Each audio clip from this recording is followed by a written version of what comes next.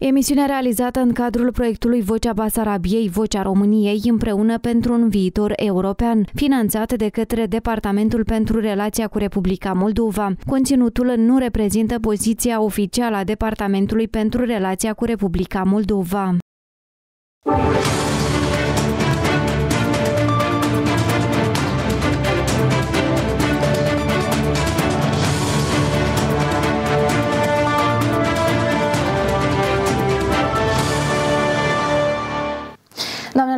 Doamnelor, domnilor, bine v-am găsit! Sunt Maria Filimon și vă prezint știrile la Vocea Basarabiei.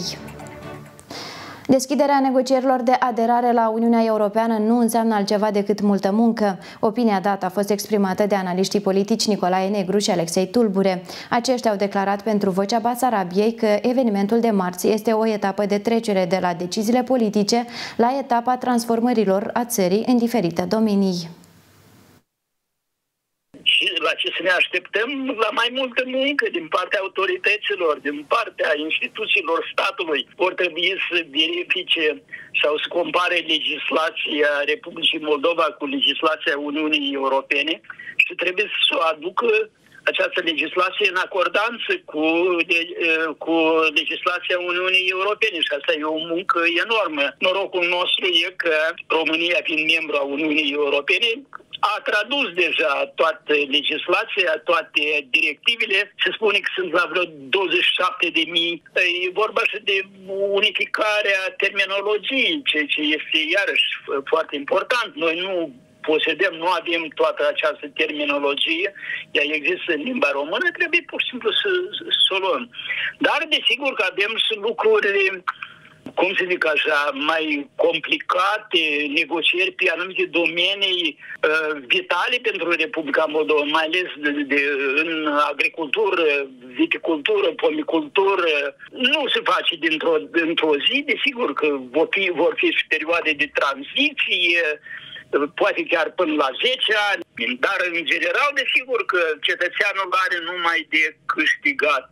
Spațiul Uniunii Europene este spațiul păcii, după evenimentul de ieri, e o trecere de la, de la etapa deciziilor politice la etapa transformărilor tehnice, transformărilor uh, pe teren, dacă doriți, uh, a țării și în diferite domenii. Beneficii imediate nu să fie. Ne așteaptă muncă, ne așteaptă, știți, cu muncă, sânge și, și transferații multe.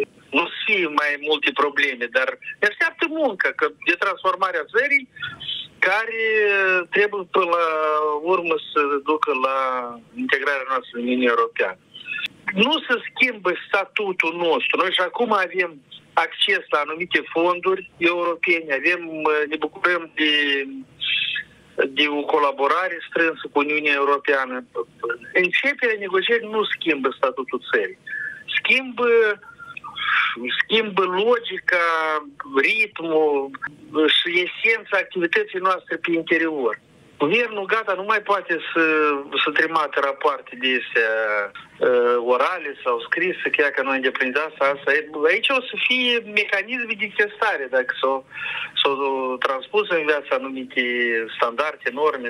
Uniunea Europeană a lansat în mod oficial marți la Luxemburg negocierile de aderare cu Republica Moldova. Anunțul a fost făcut de ministra de externe a Belgiei și premierul Dorin Recean a anunțat despre acest lucru într-o postare pe Facebook, menționând că negocierile pe care le-a început Republica Moldova sunt un adevărat succes și că țara noastră va depune toate eforturile pentru a deveni un stat membru al UE. Reamintim că Republica Moldova și-a depus oficial cererea de aderare la Uniunea Europeană în 3 martie 2022. Un an mai târziu a primit statut de țară candidat.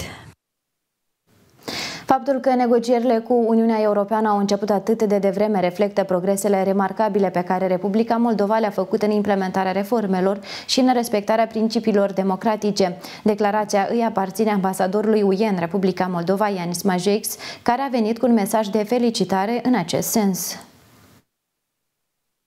Răbdarea, munca asiduă și timpul vor fi cruciale în această cale. Este esențial să nu pierdeți dinamismul pe care îl aveți acum, în timpul negocierilor. Atunci când aceste negocieri și aplicarea reformelor aferente vor fi finalizate, Moldova va fi pregătită să adere la UE. Pe măsură ce ne angajăm în această nouă etapă a parteneriatului nostru, doresc să reafirm sprijinul ferm al Uniunii Europene pentru Moldova. Ne-am angajat să vă susținem, lucrând umăr la umăr pentru a ne atinge obiectivele comune. La mai mult și la mai mare!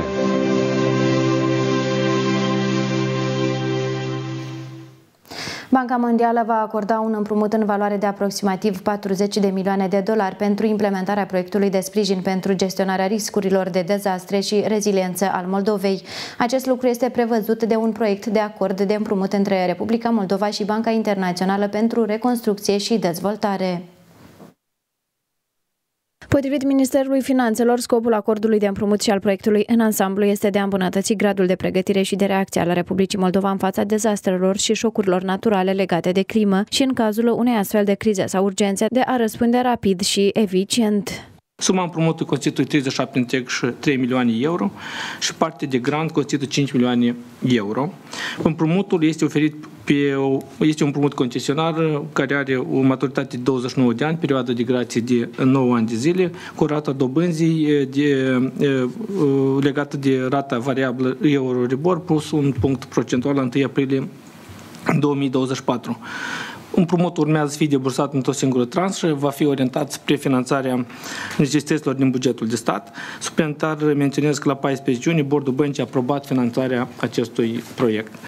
Documentul prevede că cea mai mare sumă de fonduri este prevăzută pentru investiții și consolidarea instituțională pentru pregătirea și răspunsul în caz de urgență, 29 de milioane de dolari, 6 milioane de dolari sunt prevăzute pentru îmbunătățirea serviciului hidrometeorologic, componenta sprijin politic și de reglementare pentru reducerea riscurilor infrastructurii critice și sustenabilitate financiară prevede o finanțare de 3 milioane de dolari, 2 milioane de dolari sunt rezervate pentru managementul proiectului. Republica Moldova și Republica Elena vor recunoaște reciproc permisele de conducere eliberate în cele două state. Un acord în acest sens a fost aprobat de guvern și urmează să fie semnat de ambele părți la 1-2 iulie curent. Prin semnarea acordului se va realiza dezideratul de îmbunătățire a securității circulației rutiere prin facilitarea traficului rutier pe teritoriul Republicii Moldova și Republicii Elene, ținându-se cont de faptul că ambele sunt părți la Convenția asupra circulației rutiere. Cooperarea bilaterală pe acest segment va facilita asigurarea recunoașterii reciproce și schimbul permiselor de conducere eliberate în ambele state persoanele, persoanelor care au reședință legală pe teritoriul părților, fără a fi necesară susținerea examenelor suplimentare uh, și uh, deci, așa cum prevede uh, acordul. Respectivul acord corespunde și completează politica externă promovată de către Guvernul Republicii Moldova, iar semnarea acestuia denotă alinierea la standardele Uniunii Europene, precum și la consolidarea pe termen mediu și lung a relațiilor cu statele membre ale Uniunii Europene. Republica Moldova are semnate alte cinci tratate de recunoaștere reciprocă a permiselor de conducere cu Turcia, Lituania, Italia, Albania, Spania, precum și o declarație comună de intenție cu Germania privind transcrierea permiselor de conducere. Alegătorul decide dacă participă sau nu la ambele procese electorale. Este mesajul transmis de Comisia Electorală Centrală, care printr-un comunicat combate un fals apărut în spațiul public despre referendum, dar și despre alegerile parlamentare din 20 octombrie. Precizarea instituției vine după ce politicianul Sergiu Mocanu a spus că Parlamentul caută o posibilitate ca cel care merge la referendum să nu poată să nu ia buletinul pentru prezidențiale. Alegătorul decide prin semnătură dacă participă la ambele procese electorale sau nu. Totodată, Comisia atenționează că neînmânarea nejustificată a buletinului de vot persoane înscrise în lista electorală sau înmânarea către un singur alegător a mai multor buletine decât este prevăzut de lege se sancționează cu amendă de la 6 la 12 unități convenționale. Se arată în comunicatul CEC, în cadrul unei intervenții pe un canal de YouTube, Mocanu a spus în baza unui zvon că Parlamentul caută o posibilitate ca cel care merge la referendum să nu poată să nu ia buletinul pentru prezidențiale. E foarte posibil să nu pot face chestia asta, să nu pot merge la vot și să votez numai în cadrul referendumului. S-a pornit, a fost un zvon, dar am deja două surse care îmi confirmă că ei, de ascuns în Parlament la ora actuală, caută o posibilitate ca cel care merge la referendum să nu poate să nu ia buletinul pentru prezidențiale. În același timp, CEC precizează că anterior la scrutinele similare, alegătorul, printr-o singură semnătură, confirma recepționarea unui set de buletine de vot. Respectiv, potrivit CEC, în lista electorală se propune includerea rubricilor dedicate alegerilor pentru funcția de președinte al Republicii Moldova și respectiv pentru referendumul republican constituțional, iar funcționarii electorali vor înmâna alegătorului două buletine de vot. Comisia le solicită cetățenilor să se informeze despre procesul electoral din surse oficiale și să fie atenți la încercările de manipulare a opiniei publice prin tirajarea falsurilor. Cerealele ucrainene care tranzitează teritoriul Republicii Moldova în continuare nu vor fi supuse controlului Agenției Naționale pentru Siguranța Alimentelor. Raportul la un proiect de lege care prevede acest lucru a fost examinat în cadrul ședinței Comisiei Agricultură și Industrie Alimentară.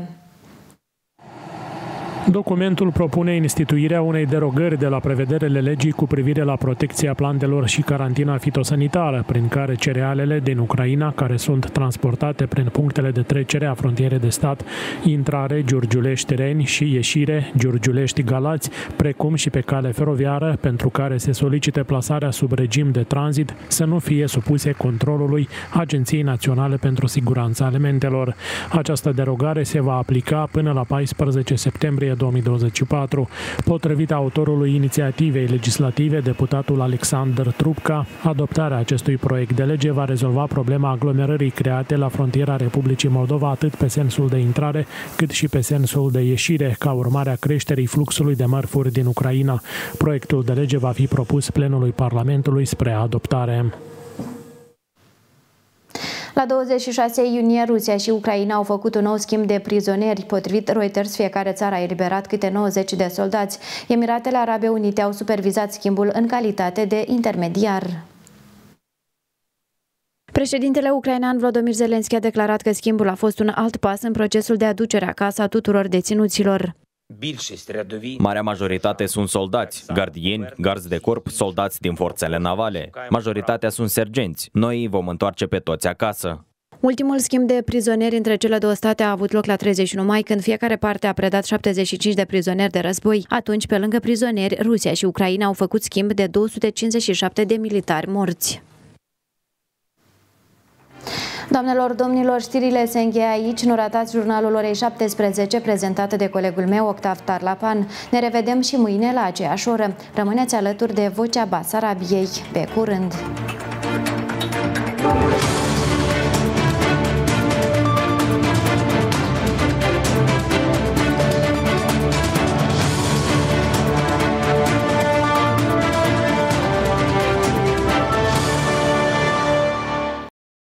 Emisiunea realizată în cadrul proiectului Vocea Basarabiei, Vocea României, împreună pentru un viitor european, finanțat de către Departamentul pentru Relația cu Republica Moldova. Conținutul nu reprezintă poziția oficială a Departamentului pentru Relația cu Republica Moldova.